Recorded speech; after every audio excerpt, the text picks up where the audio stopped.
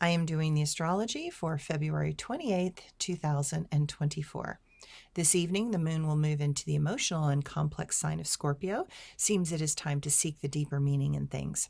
Until then, the moon in Libra attempts to bring a better balance into the mix.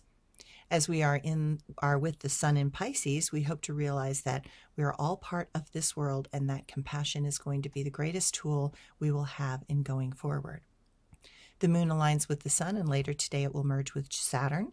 Many things are becoming clear as we finally have some strong yet practical light shining in ways that we can see what is needed to go forward. Goals become more powerful, and we seem to want to speak in ways that can have a greater impact.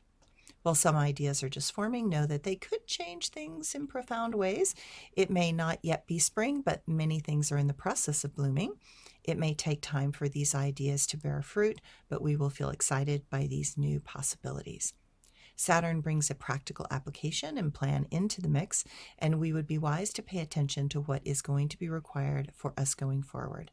The overall effect can be a bit sobering, but there are responsibilities that require much from us at this time. It is time to stop avoiding the problems and instead recognize that many messages are coming our way, indicating that we need to take action.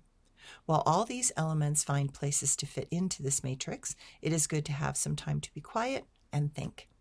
Reality can, can come crashing in as a letter, email, voice message, or other verbal and written forms of expression. Know that many things will need to be revised and will require a creative approach that is fresh and innovative. If you are feeling more emotional, you are not alone, but these things are the fuel to keep us going for now. Just know that this type of energy expenditure will catch up to you eventually, and then when it does, you might be down for a few days. If that is the case, allow your body to determine the next requirements. We will have to get our energy back first before conquering those next things that will require that mm, mm, those next things that will be required of us. Thanks, everyone.